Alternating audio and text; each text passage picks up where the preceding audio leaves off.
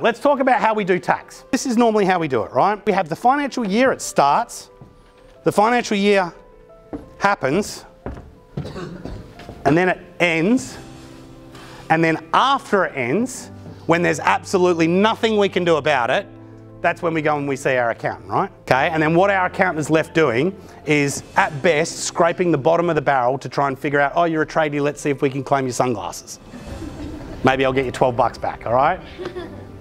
See, accounting is very much like I talked about before. It's this what happened process. It's this process that's kind of done looking in reverse. Now, what we want to do is we want to kind of flip that up. Now, a big part of what we do is we design strategies for people. And this is what one of our strategies looks like. They're about 50 pages long. Basically, it takes a client, works out where you are now, we help you work out where you want to get to, and then we basically, using only what you've got available to you now, we design you a strategy to help you get there within the next kind of somewhere between 8 and 15 years, depending on your circumstances. You're able to go to your accountant and go, ah, uh, this is what I'm doing for the next 10 to 15 years.